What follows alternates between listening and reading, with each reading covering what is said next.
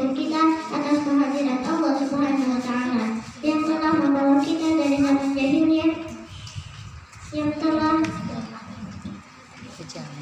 dari zaman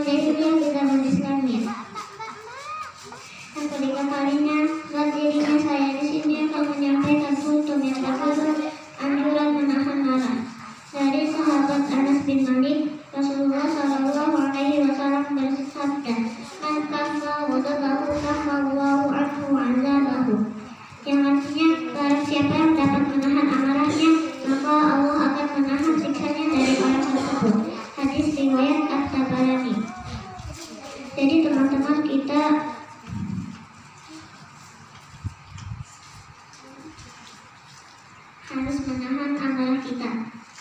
Karena amarah adalah sesuatu yang manusiawi, akan tetapi sangat merugikan apabila marah menjadi tidak terkendali seperti keluar dari mulutnya kata-kata kasar, kotor, dan tindakan-tindakan yang tidak terpuji lainnya. Kemarahan merupakan bara api yang dilemparkan oleh setan ke dalam lubuk hati manusia. Oleh karena sebab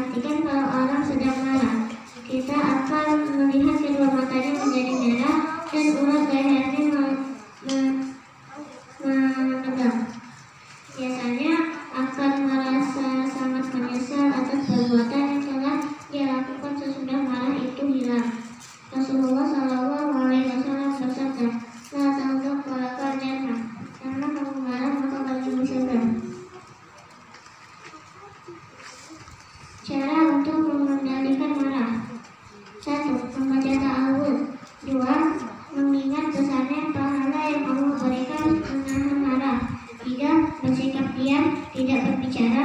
Empat, duduk atau berbalik. Lima, membayangkan wajah yang buruk ketika dalam keadaan marah.